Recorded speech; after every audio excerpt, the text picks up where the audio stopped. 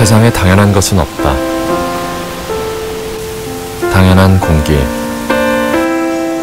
당연한 흙, 당연한 별, 당연한 꿈.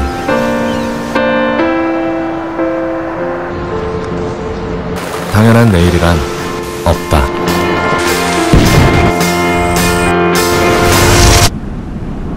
오늘 무언가를 하지 않으면 내일은 저절로 오지 않는다.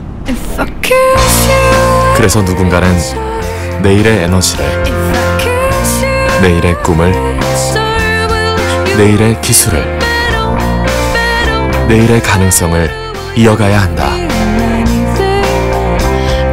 오늘이 오늘에서 멈추지 않도록. 지속 가능한 내일 한화